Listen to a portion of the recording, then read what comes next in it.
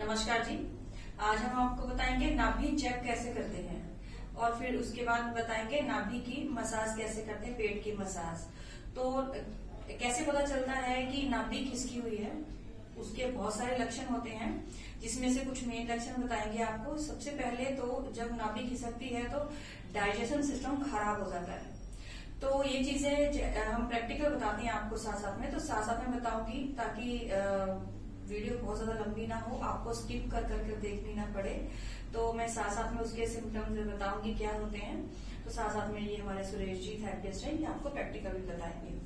तो सबसे पहले बहुत इजी तरीका होता है ये चेक करने का कि हमारी नाभि खिसक गई है, पहले तो डाइजेशन आपका खराब हो जाएगा। ठीक है? उसके साथ, सुरेश जी बताइए इस तरह से आप हाथों पे बड़े इजीली आप तो चेक कर सकते हैं अपनी नाभि को। जिस तरह से देखो इनकी नाभि बिल्कुल सेट है तो पास में थोड़ा दिखाइए देखो ये लाइनें पूरी की पूरी इनकी एकदम सही आ रही हैं। तो अगर नाभि किसकी हुई होती है तो जरा सा ये इस तरह से होगा तो जैसे ये वाली लाइन की आ, आगे पीछे आ गई पूरी की पूरी इस तरह से आगे पीछे आ जाती है। ठीक है इसी तरह से सेम पाँव पे भी होता है। आप दिखाइए। ये देखिए, इसी तरह से सेम आप पाँव नीचे कीजिए, इस तरह से देखिए, इनका बिल्कुल ये बराबर है। अगर नाभि खिसकी हुई होती है आप इस तरह से आज आपको सेल्फ ट्रीटमेंट ही बताएँगे सेल्फ आप चेक कर सकते हैं। हल्का सा जैसे ये तो इनकी तो ठीक है ना तो हल्का ऐसे करके अंगूठा बड़ा छोटा आपको आएगा। जिस तरह से हमारा ये हाथ का पता चलता है ना, इस तरह से फ़र्क, इसी तरह से पैर के अंगूठे से भी पता चलेगा। उसके बाद क्या है कि आप खुद अपनी नाभि चेक कर सकते हैं। सुरेश जी, कीजिए। इस तरह से नाभि पे आप हाथ रखेंगे। आप चाहे तो इस तरह से अंगूठा भी रख सकते हैं और इस तरह से हाथ से भी चेक करेंगे। नाभि के बिल्कुल बीचों बीच में इस तरह से आपको पल्स महसूस होगी, धड़कन महसूस होगी। हल्की सी इधर उधर होती है तो ये समझा जाता है कि नाभि खिसक गई है। ठीक है? उसके बाद अभी आपको नाभि की मसाज बताएँगे। नाभि का और ट्रीटमेंट बताएँगे। सुरेश जी साथ साथ में मैं सिम्टम्स बताती जाऊँगी। तो सुरेश जी, अब आपको पेट की मसाज बताएँगे। अगर आपको कब्ज की प्रॉब्लम है, नाभि बार बार गिर जाती है डाइजेशन सिस्टम खराब है, उन सब के लिए पेट की मसाज बहुत ही महत्वपूर्ण होती है, बहुत ही बेनिफिट होते हैं। तो अभी सुरेश जी, आपको सेल्फ मसाज बताएँगे कि अब किसी थर्ड पर्सन की ज़रूरत नहीं होती, आप अपना ट्रीटमेंट खुद भी कर सकते हैं।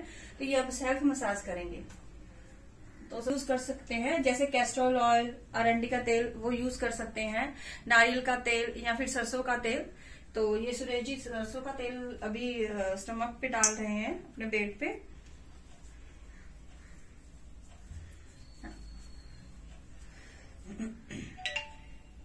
तो इस तरह से आप सेल्फ मसाज कर सकते हैं। राइट टू लेफ़्ट हल्का सा राइट टू लेफ़्ट ले रहे हैं। वो बहुत ही हल्के हाथ से मसाज कर रहे हैं। आपको बिल्कुल भी हाथ को टाइट नहीं करना है, हाथ बहुत ही हल्का रखना है। तो अभी नाभि अगर गिरती है तो उसके लक्षण और क्या रहते हैं? पेट में गड़बड़ स्टार्ट हो जाती है कभी कभी आपको उल्टियाँ लग जाती हैं जीव मचलने लगता है, घबराहट होती है, या कभी कभी कब्ज भी हो जाती है आपको तो पेट में दर्द भी होने लग जाता है। महिलाओं की नाभि खिसकने पर उनके मासिक धर्म भी अनियमित हो सकते हैं। तो ये लक्षण रहते हैं। कई बार आपको लूज मोशंस भी हो जाते हैं। तो तो अभी नेक्स्ट स्टेप कीजिए। नेक्स्ट स्टेप कीजिए।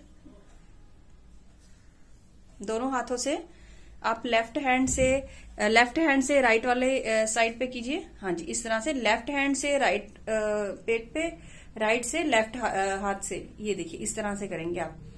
बिल्कुल बहुत हल्के हाथ से मसाज करेंगे ऑयल बहुत ही अच्छे से लगा लेंगे।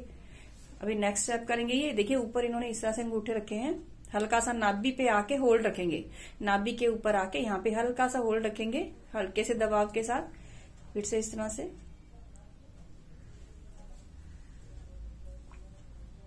तो ये हल्के हाथ से इस तरह से करेंगे। ये लास्ट स्टेप कर रहे हैं आप सुरेश जी। देखिए, ये दोनों हाथों को यूज़ करते हुए इस तरह से। तो ये आप बहुत ज़्यादा समय के लिए नहीं करनी है। हल्के हाथ से मसाज करनी है। ये आप 10 10 मिनट से ऊपर नहीं करनी है। पाँच से 10 मिनट के बीच में करेंगे। इसके बाद हम सिकाई करेंगे। इस तरह से तवे पे कपड़े को गर्म करेंगे। कपड़े के अंदर कुछ नहीं है। तवे पे कपड़े को गर्म करेंगे और इस तरह से टैप मोशन में पेट पे हल्के हल्के सिकाई करेंगे। ये देखिए, बिल्कुल घसीट कर नहीं करनी है। टैप मोशन में करनी है। उसी तरह से राइट टू लेफ़्ट। इसी तरह से। तो ये ज़रूर कीजिएगा आपको ज़रूर बेनिफिट होगा। नमस्कार।